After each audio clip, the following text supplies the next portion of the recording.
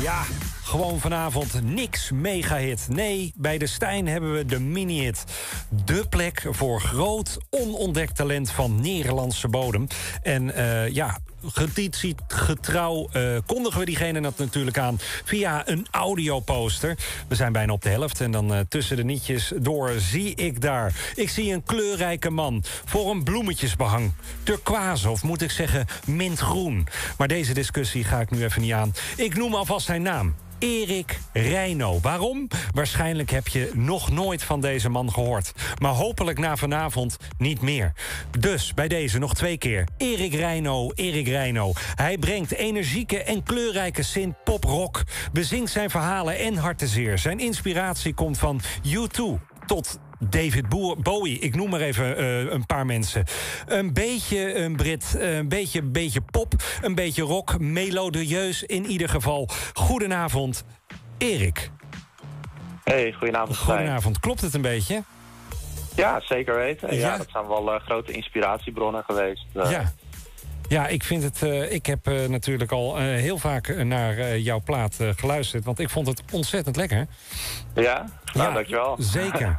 Maar wij, wij, wij hopen natuurlijk, natuurlijk de eerste te zijn die, dit, die dit brengt.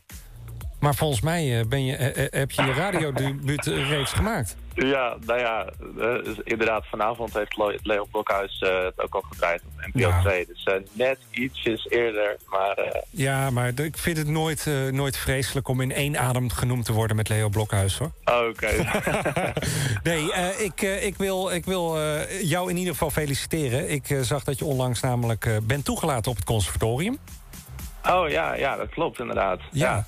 En uh, wat, wat, hoop je met muziek maken? Kan je al? Wat, wat hoop je dan op het conservatorium ja, nog te leren? Nou ja, ik, ik heb dus eigenlijk al het conservatorium gedaan in Haarlem als uh, bacheloropleiding. En uh, in, in Amsterdam is het echt een, een masteropleiding, zeg mm -hmm. maar. Dus dat is weer even een stapje verder eigenlijk. En nog naar een niveau.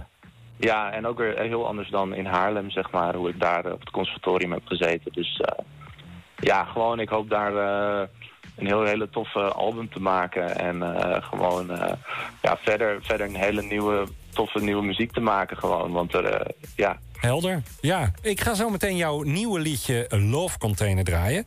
Waar gaat het over? Love Container gaat eigenlijk over dat je in een relatie zit... en dat, dat je eigenlijk niet zo goed weet of je daar echt wel in wil zitten, zeg maar.